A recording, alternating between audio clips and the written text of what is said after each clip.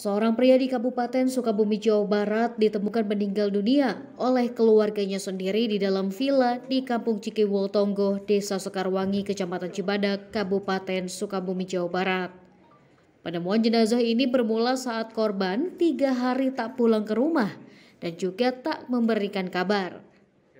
Keluarga Abdurrahman pun mendatangi villa tempat Abdurrahman bekerja sebagai tukang kebun. Saat diperiksa ke dalam villa, ternyata Abdurrahman sudah meninggal dunia dalam keadaan terlentang di dalam kamar. Saya tuh pada saat kok anak ke, ke mana nggak pulang-pulang gitu. Pas gitu paginya juga nggak pulang. Malam minggu juga nggak pulang juga. Saya penasaran gitu gimana tuh anak pergi ke Bogor nggak bilang-bilang. Katanya mungkin pergi ke Bogor gitu. Mm -hmm. Tapi tadi pagi saya penasaran juga. Mm -hmm. Ke mana itu anak nggak ada kabar apa? Mm -hmm nelpon ke istrinya juga kagak gitu. Ya, Pak itu Pak uh, di, ditemukan mayat tersebut Bapak mengenalinya nggak Pak? Nah begitu saya ini ya, saya penasaran terus saya ke sini. Hmm. Lihat kok jemurannya ada, kata saya, sendalnya ada. Dilihat pintu tuh terbuka sedikit. Hmm. Saya buka aja ke dalam kan, dilihat kok ada orang kata saya. Orang hmm. udah udah Sandi, udah centang gitu. Hmm.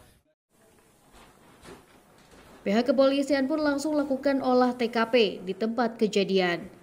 Saat ini jenazah korban pun telah dievakuasi untuk dilakukan visum oleh tim medis dari Rumah Sakit Umum Daerah Sekarwangi lengkap menggunakan APD dan juga penyemprotan cairan disinfektan.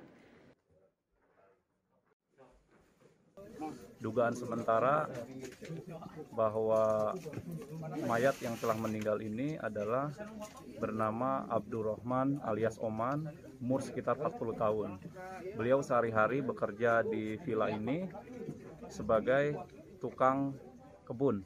Hmm, mengelola villa pemiliknya warga Jakarta.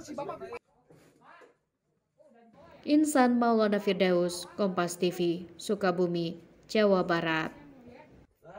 Nah, dari rumah sakit, rumah sakit.